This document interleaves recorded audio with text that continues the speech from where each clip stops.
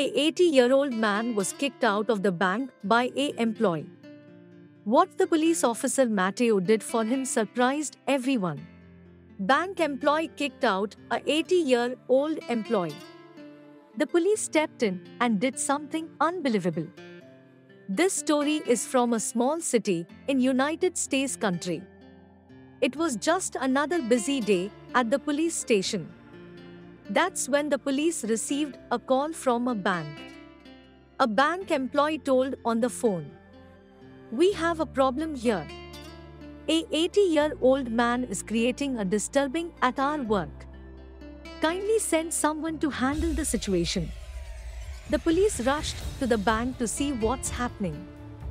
A 80 year old man was screaming like a madman. Apparently, he wanted to withdraw some cash from his account. But the bank was refusing to give him the cash. Since his ID card had expired and was out of date, the poor old man couldn't find logic in it. He shouted, How can you stop me from withdrawing my own money? I have no one else. I came all this way by myself. I am in urgent need of money. I didn't even know that my ID had expired. The old man had lost his temper. He refused to move out of the line. When the police came, the bank employee explained everything.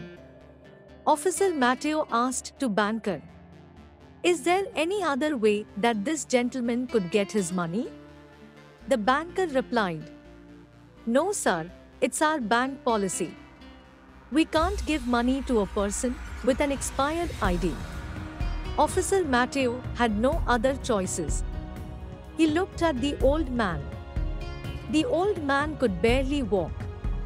He had come all the way down to the bank by himself. The officer told the old man, Sir, you need to follow me. The old man had to follow the order coming from a police. The peace in the bank was restored. The old man thought that the officer was just kicking him out of the bank. But he was not. What Mateo did next was incredible. He told the old man to sit in his car. He took the old man straight to the ID verification center. There was a huge line. It would take the whole day to get old man's ID renewed. The officer went straight to the authority of the ID center. He took the old man with him. The old man didn't even have to stand in the line. His ID card was updated within 5 minutes. Officer Mateo took the old man back to bank. Finally, he could withdraw the money that he needed.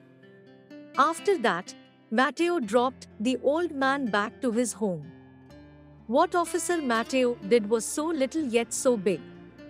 He rose above his duties and showed humanity. He could have just kicked the old man out of the bank. But he didn't just do that.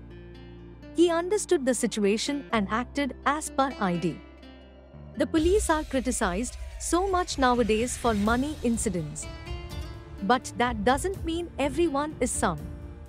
Officers like Mateo, they prove that there is good and bad everywhere.